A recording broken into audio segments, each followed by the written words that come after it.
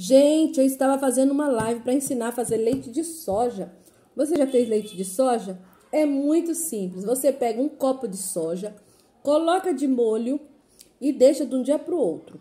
No outro dia, você pega a soja, lava, escorre bem aquela água, coloca a soja dentro do copo do liquidificador e coloca três copos de água potável ou água mineral.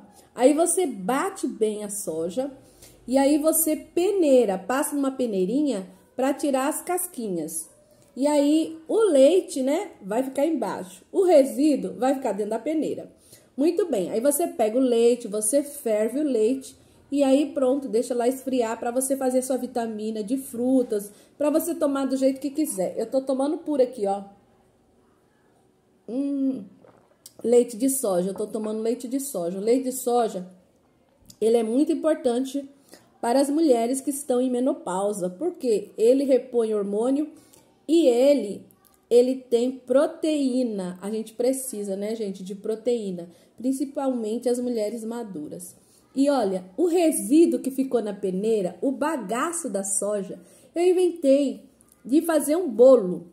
E aí eu não tinha receita, nem procurei como fazer, mas eu inventei. Eu peguei o bagaço, coloquei numa bacia e aí coloquei três ovos, duas xícaras de açúcar, uma pitadinha de sal, fermento, aí mexi, mexi, mexi, mexi, mexi. Untei uma forma e coloquei para assar. E olha, virou um delicioso bolo, um bolo de bagaço de soja. Então, gente, até o bagaço dá para aproveitar da soja, você não perde nada. Você faz o leite da soja e com o bagaço você faz o bolo, ó. Hum. Hum. Delícia.